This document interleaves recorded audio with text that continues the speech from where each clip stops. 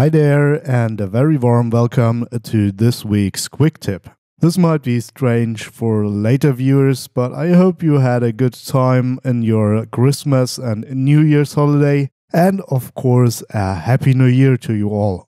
I decided to begin this new year with a very short one. As always, a disclaimer, as those always get longer than anticipated, but let's see how this is going. So in the newest version of Octane 2022.1, OTOY has integrated an ACES tone mapping one-click solution basically.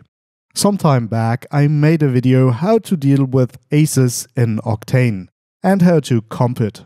This involved downloading an OpenColorIO config and linking it into Octane, which is a bit cumbersome and not for everyone. Also, there was this problem that when you just want to bake in the ACES look into your output files, if you're putting out, for example, TIFF sequences or PNG sequences that are 8 or 16 bit only, it was a bit of a hassle. And now with the inclusion of this one button solution, the process is much more streamlined if you're working with the sRGB ACES. So welcome to Cinema 4D and Octane Land and you see this laboratory equipment that is from a project I'm currently working on. So since I do not want to show you the same boring scene every time, I guess this is a good practice. As this is a one-click solution, this is very easy to do. So in your Octane settings, in the camera imager, you find this ACES tone mapping setting here, and if you tick it, you're basically done. But to not make this tutorial too short, let me explain a little bit around that. So the formal way to go about this would be to enable you OpenColorIO here. So before you do that, you would have gone into settings, color management and link your OpenColorIO variable in here. Then let me go back to camera imager, OpenColorIO and set this one here to ACES sRGB. And then last but not least, you have to go to the drop down in your live viewer and also set this to OpenColorIO sRGB. And as soon as I do that, you see nothing has changed. And this is because now if you go back to the imager here and untick that, and then go back to sRGB, you can see the old look. And this is the look that we get with the integrated old workflow. And if I go back and set this back to sRGB and then tick this, you can see the picture looks the same. So no more linking old OpenColorIO ACES files, you just have to tick this button here. Now I still do it the old way and this is because I'm used to using the Rec 709 preset. And this gives me a little bit less crushed shadows as you can see here. So the contrast isn't as strong as with the sRGB profile. And this is the whole reason I'm not using the one-click solution here. But if you before always worked with the sRGB profile, then there's no need to use the old way. You can just go to the imager and check this tick here. So let's go and go to the LDR sRGB again, so we are seeing the result of the ACES tone mapping checkbox.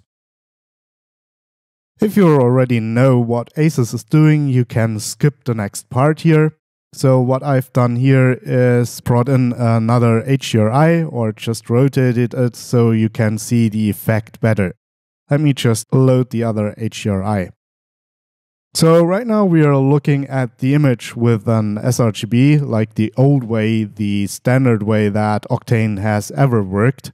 And you can see that we get some blown out highlights and some oversaturation here in the blue areas.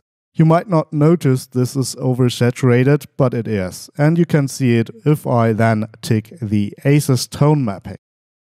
So if I tick that, you can see the ACES tone mapping now gives you back the oversaturated color in a very nice way and you can see details in the highlights that were just burned out into a cyan mass.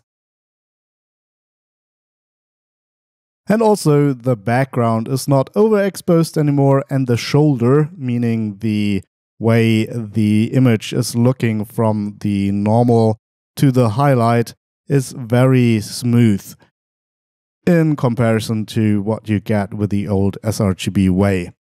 And this goes for the one-click solution as well as for the OpenColorIO config here. So there's no difference there. It's just made easier for you to get this new advanced look. So the last thing I'm going to talk about is how to export that to your image sequences or single image if you're rendering a still image. And basically this is very simple too.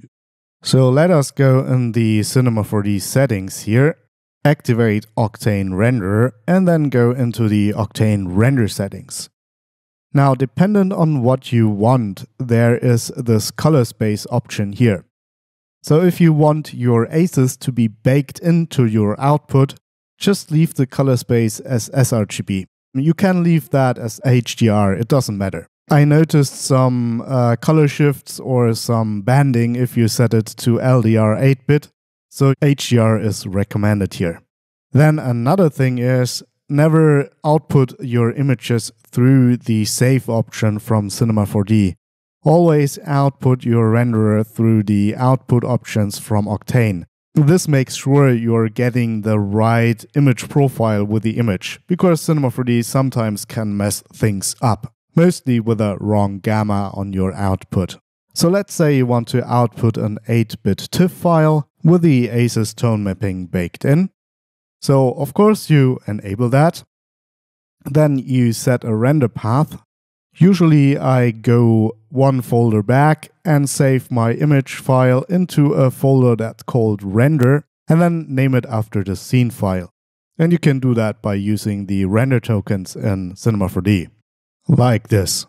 Next, since we're wanting to save a TIFF, let's say select a TIFF file here. Here we go. Then we want to save it as 8-bit. And we don't want to save it as a multi-layer file. And of course, we want to save the beauty because we only have the beauty right now. And if this wasn't checked, then no file will be saved. Okay, so let's try what we set here if everything worked out. There's some complex materials in the scene, so it needs some time to update. So Cinema 4D right now expects a different color profile. This is why it looks a bit weird here, but we have to judge from the saved output. And if I bring in the saved output, you can see that the Cinema 4D is looking weirdly off. So it looks like it didn't apply the ACES tone mapping.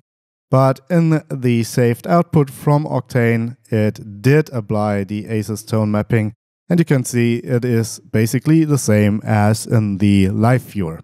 So as I said, don't trust Cinema 4D what it shows while rendering. Basically, if you're not sure if you're rendering going to be the right output, just render one example with very few samples and then make sure that your output matches your live viewer.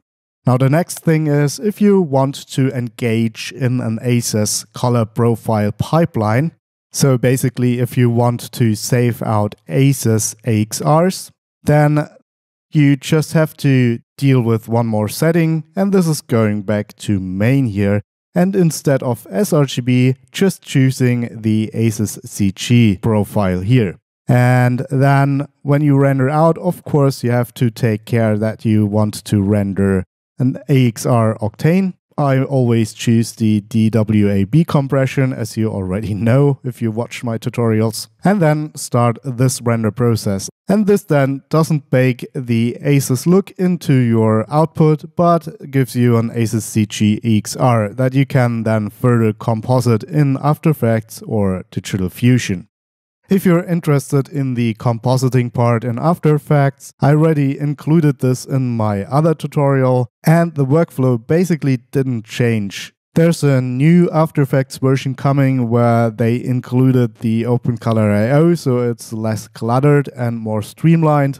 but it's still in beta and I've planned to make a tutorial about this when it's out as a stable build. Also, let me know in the comments if you want to see the ACES workflow using Blackmagic's Fusion Studio instead of After Effects. I'm more or less planning to switch to Fusion for my comp work. I used it before and I find After Effects is really not that great for compositing when it comes to EXRs and when it comes to a lot of layers. And it's eating my RAM away like a hungry teenager.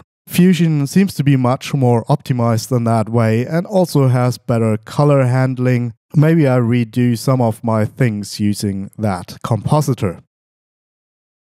As promised, this was a rather short one.